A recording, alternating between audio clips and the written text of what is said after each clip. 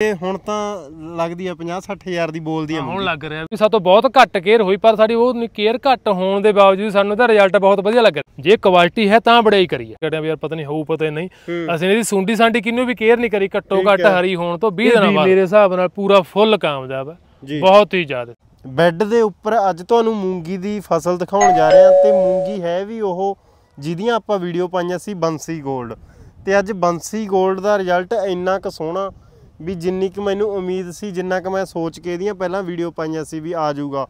ਉਸ ਤੋਂ ਵੀ ਕਿਤੇ ਜ਼ਿਆਦਾ ਸੋਹਣਾ ਰਿਜ਼ਲਟ ਦਿੱਤਾ ਬੰਸੀ 골ਡ ਮੂੰਗੀ ਨੇ। ਤੇ ਸਤਿ ਸ਼੍ਰੀ ਅਕਾਲ ਵੀਰ ਜੀ। ਸਤਿ ਸ੍ਰੀ ਅਕਾਲ ਜੀ। ਆਪਣਾ ਕਿਹੜਾ ਪਿੰਡ ਹੈ ਭਰਾ ਜੀ? ਪਿੰਡ ਬੱਬਣਪੁਰ ਜੀ। ਬੱਬਣ- ਬੱਬਣਪੁਰ ਪਿੰਡ ਹੈ ਜੀ ਧੂਰੀ ਦੇ ਲੱਗੇ। ਧੂਰੀ ਦੇ ਲਾਗੇ। ਬਾਈ ਦਾ ਖੇਤ ਦੇਖ ਕੇ ਅੱਜ ਰੂਹ ਖੁਸ਼ ਹੁੰਦੀ ਆ। ਤੇ ਵੀਰ ਜੀ ਕਦੋਂ ਤੋਂ ਲਾ ਰਹੇ ਆਪਾਂ ਮੂੰਗੀ? ਇੱਕ ਤਾਂ ਕੁਝ ਪਿਛਲੇ ਸਾਲ ਵੀ ਲਾਏ 2 ਏਕੜ। ਜੀ। ਬਹੁਤ ਵਧੀਆ ਨਾਮੀ ਕੰਪਨੀ ਦਾ ਬੀ ਲੈ ਕੇ ਲਾਇਆ। ਪਰ ਉਹ ਮੰਨ ਲਓ ਓਡੀ ਵਧੀਆ ਗੱਲ- ਗੱਲਬਾਤ ਨਹੀਂ ਲੱਗੀ ਸਾਨੂੰ। ਹੂੰ। ਨਾ ਹੀ ਕੁਆਲਿਟੀ ਪੱਖੋਂ ਨਾ ਹੀ ਝਾੜ ਪੱਖੋਂ। ਠੀਕ ਹੈ। ਉਹੀ ਸੋਚ ਕੇ ਬਸ ਸਿਰਫ ਇਸ ਵਾਰ ਕੁਛ ਆਮਣ ਜੀ ਨਾਲ ਗੱਲ ਹੋਈ ਇੱਕ ਦੋ ਵਾਰ ਬਾਈ ਫੋਨ ਇਹ ਕਹਿੰਦੇ ਤੁਸੀਂ ਸਾਡੇ ਵਾਲਾ ਪ੍ਰੋਡਕਟ ਬਾਂਸੀ 골ਡ ਵਰਤੋ ਜੀ। ਅਮਨ ਜਿਹੜੇ ਉੱਥੇ ਬਾਈ ਜੀ ਹੈਗੇ ਨੇ ਗੰਗਾ ਨਗਰ ਹਾਲ ਹਾਂਜੀ ਹਾਂਜੀ। ਉਹਨਾਂ ਨਾਲ ਜਦੋਂ ਗੱਲ ਹੋਈ ਕੰਪਨੀ ਵਾਲਿਆਂ ਨਾਲ ਤਾਂ ਉਦੋਂ ਬੀ ਲਿਆਂਦਾ ਫਿਰ ਮੈਂ ਬੀ ਇਹਨਾਂ ਨੂੰ ਫੋਟੋ ਵੀ ਇਹਨਾਂ ਨੂੰ ਭੇਜੀ ਵੀ ਦੇਖੋ ਸਰ ਰੀਜਨ ਵਾਲਾ ਜਾਂ ਕਿੱਦਾਂ? ਜੀ। ਇਹਨਾਂ ਨੇ ਫਿਰ ਜਦੋਂ ਬਿਲਕੁਲ ਓਕੇ ਕਰਤਾ ਉਦੋਂ ਬਾਅਦ ਉਹਦੀ ਬਿਜਾਈ ਕਰੀ। ਪਹਿਲਾਂ ਮੇਰੀ ਸਲਾਹ ਸੀਗੀ ਬਿਲਕੁਲ ਮਸ਼ੀਨ ਨਾਲ ਬੀਜਣ ਦੀ। ਜੀ। ਫਿਰ ਚਲੋ ਇੱਕ ਮਿੱਤਰ ਪਿਆਰਾ ਆਪਣਾ ਬੈੱਡ ਵਾਲੀ ਮਸ਼ੀਨ ਲੈ ਕੇ ਉਹਨੇ ਆਪਣੇ ਫਸਟ ਟਾਈਮ ਆਪਣੇ ਟ੍ਰਾਇਲ ਕਰਿਆ ਉਹਨੇ। ਹੂੰ। ਸਾਨੂੰ ਵੀ ਹੋਗਾ ਵੀ ਚਲੋ ਛੱਡੋ ਯਾਰ ਵੀ ਇਹਨੇ ਵੀ ਕੀ ਹੋਣਾ ਜਿਵੇਂ ਪਹਿਲਾਂ ਵਾਲੀ ਨਹੀਂ ਹੋਈ। ਹਾਂ ਵੀ ਚੱਲ ਹਾਂ। ਵਾਹਨ ਬਾਅਦ ਆਂਗੇ ਵਿੱਚ ਹੀ ਕੁਝ ਨਾ ਖਾਰੀ ਖਾਦ ਹੋ ਜੂਗੀ। ਹੂੰ। ਪਰ ਜਿਵੇਂ ਜਿਵੇਂ ਇਹਨਾਂ ਦੀ ਗਾਈਡੈਂਸ ਰਹੀ ਵੀ ਇਦਾਂ ਕਰਕੇ ਐ ਰੇ ਪਾਲੋ ਜਾਂ ਕੁਝ ਵੀ ਕੋਈ ਆ ਸਪਰੇਅ ਕਰ ਦਿਓ ਹੂੰ। ਫਿਰ ਵੀ ਸਾਤੋਂ ਬਹੁਤ ਘੱਟ ਕੇਅਰ ਹੋਈ ਪਰ ਸਾਡੀ ਉਹ ਕੇਅਰ ਘੱਟ ਹੋਣ ਦੇ ਬਾਵਜੂਦ ਸਾਨੂੰ ਇਹਦਾ ਰਿਜ਼ਲਟ ਬਹੁਤ ਵਧੀਆ ਲੱਗ ਰਿਹਾ। ਜਿਵੇਂ ਅੱਜ ਦੇਖ ਸਕਦੇ ਹਾਂ, ਗੁੱਸੇ ਤੇ ਗੁੱਸੇ ਹਾਂ। ਫਲੀ ਤੇ ਫਲੀ ਚੜੀ ਖੜੀ ਬਿਲਕੁਲ ਬਿਲਕੁਲ। ਉਹ ਦੇਖ ਕੇ ਮਨ ਖੁਸ਼ ਹੁੰਦਾ ਵੀ ਹਾਂ ਯਾਰ ਅਸੀਂ ਨੇ ਕੁਝ ਨਾ ਕੁਝ ਕਰਿਆ। ਹਾਂ ਪਤਾ ਲੱਗਦਾ ਵੀ ਹਾਂ ਖੇਤ ਬਿਨਾਂ ਲੱਗ- ਖੇਤ ਦੇ ਵਿੱਚ ਕੁਝ ਹੈ। ਹੈਗਾ ਕੁਝ ਖੇਤ ਦੇ ਵਿੱਚ। ਬਿਲਕੁਲ ਜੀ ਬਿਲਕੁਲ। ਤੇ ਬਾਈ ਜੀ ਕਿੰਨਾ ਖਰਚਾ ਆ ਚੁੱਕਿਆ ਆਪਣੇ ਇਹ ਤੇ? ਇਹਦੇ ਅਪਰੋਕਸੀਮੇਟਲੀ ਤੁਸੀਂ ਮੰਨ ਕੇ ਚੱਲੋ ਵੀ 9-10 ਕੇ ਬਿੱਗੇ ਥਾਵਾਂ ਉਹੀ 8-9000 ਵਿੱਚ ਹੀ ਬੀ ਬੂ ਲਾ ਕੇ ਵਿੱਚ ਹੀ ਬਾਈ ਗਹਾਈ ਲਾ ਕੇ 1000 ਰੁਪਏ ਬਿੱਗੇ ਦਾ ਮੰਨ ਕੇ ਚੱਲੋ। ਠੀਕ ਹੈ ਵੀ ਉਹੀ 5-4000 ਰੁਪਏ ਏਕੜ ਦਾ। ਹਾਂ 5-4000 ਰੁਪਏ ਏਕੜ ਦਾ। ਤੇ ਹੁਣ ਤਾਂ ਲੱਗਦੀ ਆ 50-60000 ਦੀ ਬੋਲਦੀ ਆ ਹੁਣ ਲੱਗ ਰਿਹਾ ਵੀ ਹਾਂ ਕੁਝ ਨਾ ਕੁਝ ਕਿਉਂਕਿ 7-8000 ਰੇਟ ਆ ਭਾਅ ਚੱਲ ਹੀ ਰਿਹਾ ਮਾਰਕੀਟ ਦੇ ਵਿੱਚ। ਤੇ ਜਿਵੇਂ ਹੈਗਾ ਵੀ ਝਾੜੇ ਦਾ ਚੰਗੇ ਰਹੂਗਾ। ਬਿਲਕੁਲ ਬਿਲਕੁਲ ਬਿਲਕੁਲ। ਤੇ ਬਾਈ ਕਿਵੇਂ ਲੱਗੀ? ਜਿਵੇਂ ਕੰਪਨੀ ਵਾਲਿਆਂ ਨਾਲ ਗੱਲਬਾਤ ਕਰਕੇ ਵੀ ਕੰਪਨੀ ਕੱਲਾ ਬੀ ਵੇਚਣ ਤੱਕ ਸੀਮਤ ਹੈ ਜਾਂ ਮਗਰੋਂ ਵੀ ਖੜਦੀ ਨਹੀਂ ਨਹੀਂ ਨਹੀਂ ਮਗਰੋਂ ਵੀ ਖੜਦੇ ਸੰਤੁਸ਼ਟ ਹਾਂ ਇਸ ਵਾਰ ਸੰਤੁਸ਼ਟ ਹਾਂ। ਠੀਕ ਹੈ। ਦੇਖੋ ਵੀ ਪੈਸੇ ਲੱਗੇ ਦੇ। ਬਿਲਕੁਲ ਬਿਲਕੁਲ। ਨਜ਼ਾਰਾ ਆ ਗਿਆ ਬੰਸੀ ਗੋਲਡ ਵੀ ਪਹਿਲਾਂ ਵੀ ਆਮਣ ਜੀ ਨਾਲ ਇਹੀ ਗੱਲ ਹੁੰਦੀ ਹੁੰਦੀ ਆ।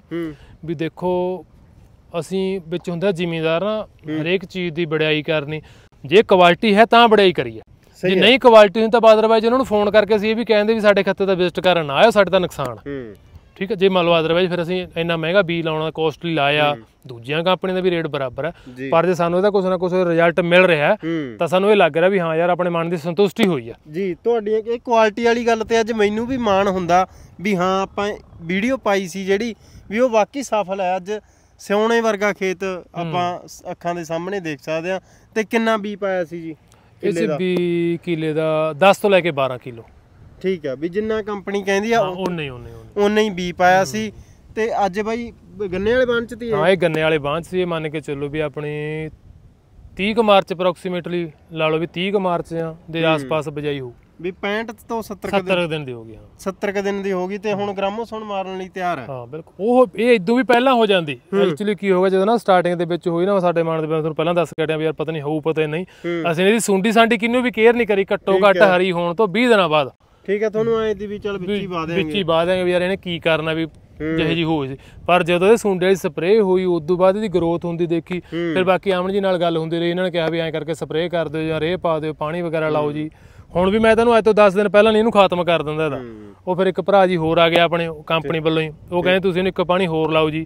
ਉਦੋਂ ਇਹਨਾਂ ਇਹਨੇ ਬਿਲਕੁਲ ਮਾੜਾ ਮਾੜਾ ਫਲ ਚੱਕਿਆ ਸੀ। ਮਨ ਫਲ ਉਦੋਂ ਨਜਾਇਜ਼ ਸੀਗਾ। ਠੀਕ ਹੈ। ਫਿਰ ਜਦੋਂ ਉਹ ਪਾਣੀ ਲੱਗ ਗਿਆ ਮੰਨ ਲਓ ਹੁਣ ਤਾਂ ਪ੍ਰੋਪਰ ਐਂ ਲੱਗ ਰਿਹਾ ਜਿਵੇਂ ਬਹੁਤ ਫਾਲੀ ਫਲ ਬਹੁਤ ਆ ਨਜਾਇਜ਼। ਜੇ ਦਾਣੇ ਕੱਢ ਕੇ ਦਿਖਾ ਦਈਏ ਅੱਜ ਦੀ ਡੇਟ 'ਚ ਦਾਣੇ ਵੀ ਬਹੁਤ ਹਾਂ ਸੋਹਣੇ ਬਹੁਤ ਸੋਹਣੇ ਨੇ ਬਿਲਕੁਲ। ਤੁਹਾਨੂੰ ਵੀਡੀਓ ਦੇ ਵਿੱਚ ਲਾ ਕੇ ਕਲਿੱਪ ਦਿਖਾ ਦਾਂਗੇ। ਤੇ ਬਾਕੀ ਪੂਰੇ ਖੇਤ 'ਚ ਜਿੱਥੇ ਮਰਜ਼ੀ ਕੈਮਰਾ ਮਾਰ ਲਓ ਪੱਤਿਆਂ ਨਾਲੋਂ ਜ਼ਿਆਦਾ ਫਲੀਆਂ। ਫਲੀ ਫਲੀਆਂ ਨੇ ਜੀ ਬਿਲਕੁਲ ਬਿਲਕੁਲ। ਫਲੀਆਂ ਦੀਆਂ ਨੇ। ਸੰਤੁਸ਼ਟ ਹੈ ਜੀ ਮਨ ਤੇ ਬਾਈ ਪੂਰਾ ਖੁਸ਼ ਹੈ ਸੋ ਬਹੁਤ ਬਹੁਤ ਧੰਨਵਾਦ ਵੀਰ ਜੀ ਜਾਣਕਾਰੀ ਦੇਣ ਲਈ। ਤੇ ਕੀ ਸੁਨੇਹਾ ਕਿਸਾਨਾਂ ਨੂੰ ਵੀ ਬਾਕੀ ਹੈਗੀ ਆ ਫਾਇਦੇ ਦੀ ਫਸਲ? ਕਿਸਾਨਾਂ ਨੂੰ ਦੇਖੋ ਜੀ ਇਹ ਵੀ ਮੇਰੇ ਹਿਸਾਬ ਨਾਲ ਪੂਰਾ ਫੁੱਲ ਕਾਮਯਾਬ ਹੈ। ਬਹੁਤ ਹੀ ਜ਼ਿਆਦਾ। ਤੁਹਾਡਾ ਖਰਚਾ ਜਿੰਨਾ ਹੋਇਆ ਉਦੋਂ ਡਬਲ ਨਹੀਂ ਨਹੀਂ ਪਤਾ ਚਾਰ ਗੁਣਾ ਤੁਹਾਨੂੰ ਵਾਪਸ ਰਿਫੰਡ ਕਰਕੇ ਜਾਵੇ। ਨਾਲੇ ਬਾਣ ਨੂੰ ਜਾਣ ਨਾਲੇ ਜਾਣ ਪਾਉਂਦੀ ਜੀ। ਠੀਕ ਹੈ ਸੋ ਬਹੁਤ ਬਹੁਤ ਧੰਨਵਾਦ ਜੀ। ਮਿਹਰਬਾਨੀ।